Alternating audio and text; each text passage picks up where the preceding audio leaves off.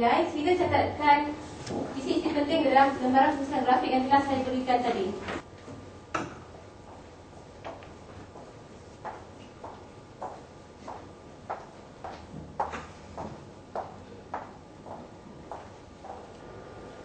Assalamualaikum dan salam sejahtera saya ucapkan kepada Guru Bahasa Melayu kita Puan Wan Johanis setara rakan sekalian. Tajuk pembincangan kita pada pagi ini ialah langkah-langkah membalas jasa ibu dan bapa. Setiap anak yang dilahirkan di dunia ini pasti mempunyai ibu dan bapa kerana tanpa mereka sudah tentu kita tiada di dunia ini. Kita sering mendengar sepotong hadis yang bermaksud syurga di bawah tapak kaki ibu. Hal ini bermakna setiap anak wajib mentaati dan menjaga hati ibu dan bapa kita sehingga kita dilarang berkata ah sekalipun. Lihatlah betapa besarnya pengorbanan seorang anak sehingga kita tidak akan mencium bau syurga jika kita menderhaka kepada mereka. Benar, saya amat bersetuju dan berasa simpati terhadap golongan warga tua yang dibiarkan oleh anak-anak mereka sendiri. Kerajaan juga memandang serius terhadap isu ini Tarikh 1 Oktober setiap tahun telah diisytiharkan sebagai Hari Warga Tua. Di samping itu, Kementerian Pembangunan Wanita, Keluarga dan Masyarakat turut mempunyai obligasinya dalam memilah nasib golongan warga tua. Malah, undang-undang negara juga melarang anak-anak melakukan penganiayaan terhadap golongan berusia emas.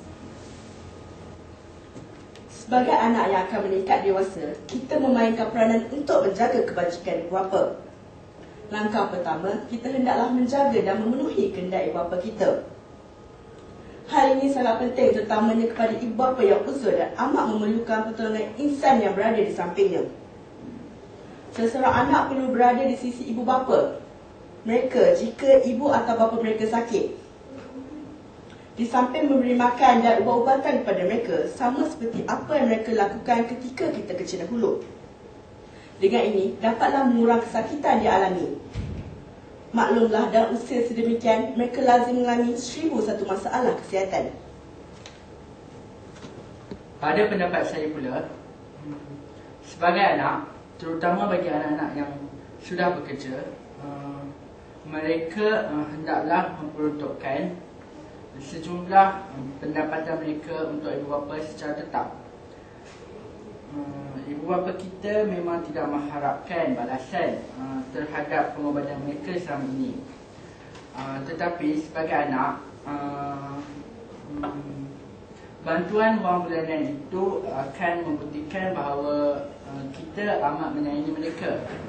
Walaupun jumlah yang diberikan uh, tidak banyak jika dibandingkan dengan apa yang telah diberikan kepada kita sebelum ini. Uh, sekurang-kurangnya wang itu dapat digunakan untuk menampung makan minum dan untuk tujuan kesihatan. Tetapi, bagaimana pula dengan anak-anak yang terpaksa tinggal berjauhan atas urusan kejaya? Dalam hal ini, anak-anak tidak sepatutnya menjadikan jarak dan kesibukan sebagai penghalang hubungan. Bukankah pada zaman teknologi yang semakin canggih ini tercipta pelbagai peralatan komunikasi yang memudahkan hubungan hanya di hujung jari? Ibarat kata pepatah, hendak seni budaya tak hendak seni budaya. Anak-anak boleh menelefon ibu bapa atau menghantar SMS dan MMS dengan kerap yang mungkin.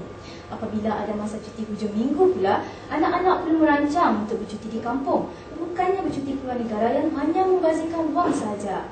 Kita harus berbangga dengan negara kita sendiri, di mana bumi dipijak, di situ langit dijunjung.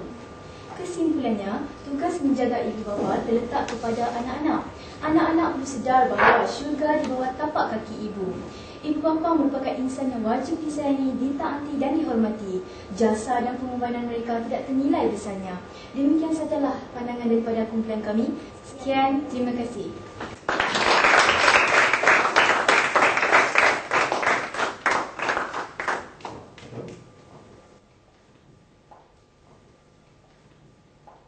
Terima kasih dan tahniah saya ucapkan kepada pelajar daripada kumpulan satu kerana telah selesai membentangkan hasil perbincangan mereka.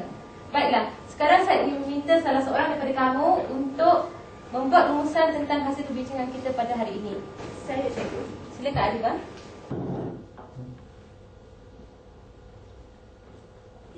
Terima kasih cikgu.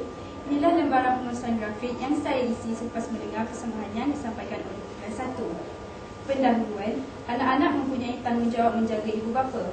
1 Oktober ialah hari warga tua. Isi-isi penting, isi pertama, anak-anak perlu memenuhi kehendak dan memelihara ibu bapa, terutama ibu bapa yang sakit. Isi kedua, anak-anak yang bekerja perlu memberi wang nafkah bulanan kepada ibu bapa. Isi ketiga, anak-anak yang tinggal berjauhan perlu menghubungi ibu bapa dengan lebih kerap. Peribahasa, syurga terletak di bawah tapak kaki ibu. Hendak suri budaya, tak nak suri budaya. Di mana bumi dipijak, di situ langit dijunjung. Kesimpulannya, bapa merupakan insan yang wajib disayangi dan dihormati. Jasa mereka tidak ternilai besarnya. Sekian, terima kasih. Terima kasih Arifah kerana telah memberikan misal yang sangat baik. Baiklah para pelajar sekalian, di sini saya ingin membuat sedikit ulasan terhadap persembahan kawan-kawan kamu itu tadi sebagai pedoman dan panduan kepada kumpulan lain pada masa akan datang. Pelajar pertama iaitu Sri. Sri telah menyampaikan idea dengan sangat baik dengan tiada kesalahan tata bahasa serta intonasi yang tepat dan juga menggunakan sebutan baku. Jadi Sri layak mendapat markah yang sangat baik.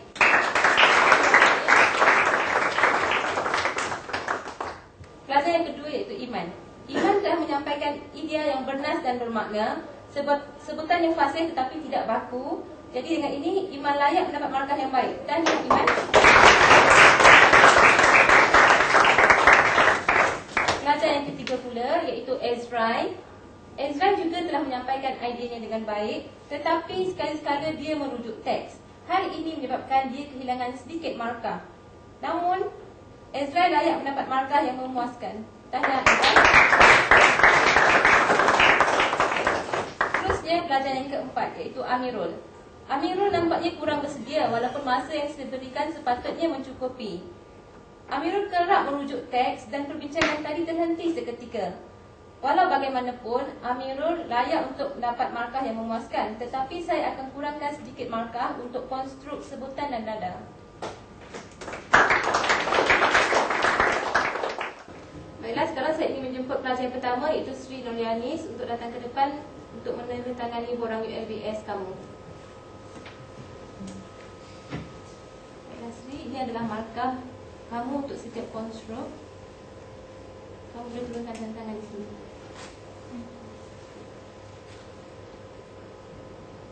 Sini. Seterusnya saya ingin menjemput pelajar yang kedua iaitu Nurul Iman.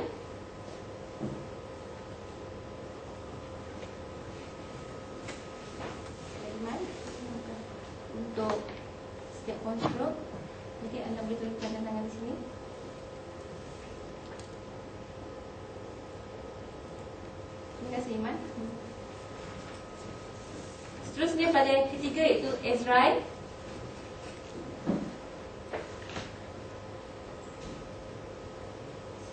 Pada Ezrai, ini markah UMBS kamu untuk setiap konstruk. Jadi kamu boleh turunkan tangan di sini.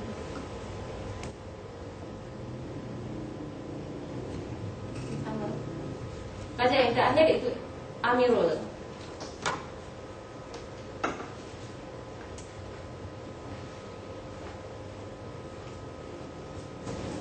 Baik, Amirul, ini markah UMBS kamu. Ini markah kamu kurang disebabkan wajah kamu kurang lancar tadi. Ini markah kamu yang kamu boleh turunkan dan tangan di sini. Cikgu setelah itu boleh saya mengulangi LBSS sekali lagi kerana saya rasa saya boleh dapatkan markah yang lebih banyak daripada ini. Kenapa? Um, sebenarnya saya kurang sihat hari ini.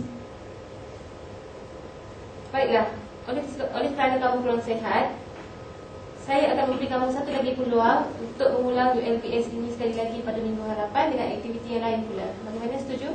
Setuju cikgu? Dan tangan sini. Terima kasih cikgu. Sama.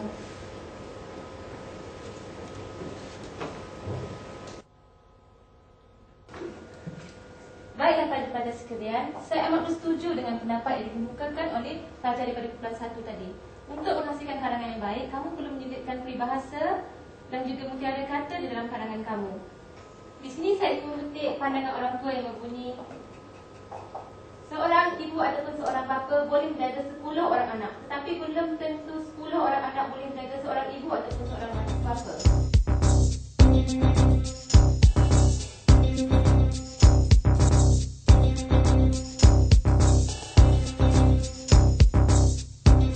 Baiklah pelajar sekalian, di sini saya ada mencipta dua rangkap pantun berkaitan dengan tajuk kita pada hari ini. Nak dengar ataupun tidak? Nak. Okey, ini pantun. Pantun yang pertama, burung perdada di angkasa raya. Terbang melayang mengimbau kota. Bunda Arianda umpama cahaya. Menjadi penerang tak kala berita.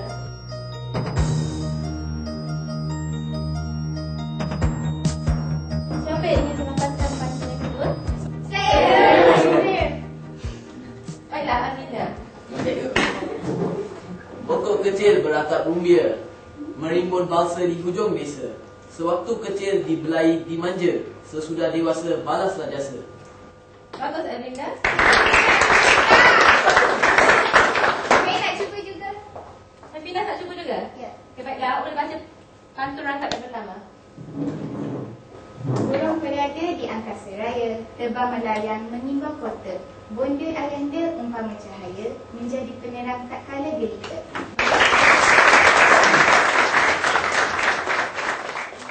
Sebagai aktiviti pengupahan kamu pada hari ini, kamu dikehendaki untuk menulis karangan tentang tajuk perbincangan kita pada hari ini iaitu Baiklah, karangan kamu hendaklah tidak melebihi 350 patang perkataan. Sebagai penutup pembelajaran kita pada hari ini, marilah sama-sama kita nyanyikan lagu Ayah dan Ibu.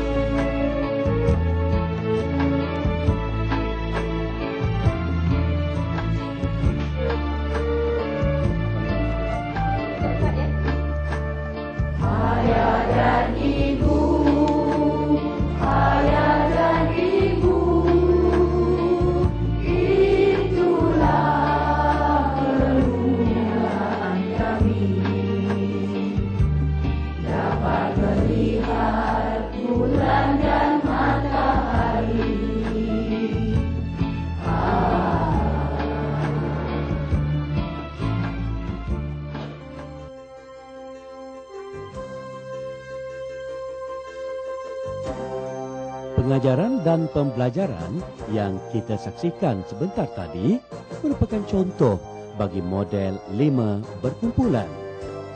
Terdapat lima model yang diperkenalkan iaitu model satu, individu seperti ceramah dan pidato. Model dua, individu, soal jawab, pentaksir dan calon. Model tiga, individu, calon bersama-sama penggalak dan pentaksir. Model empat, berkumpulan iaitu kumpulan pelajar bersama-sama pentaksir. Model lima, berkumpulan seperti forum tanpa pentaksir. Semoga para pelajar faham dan bersedia menghadapi ULBS ini.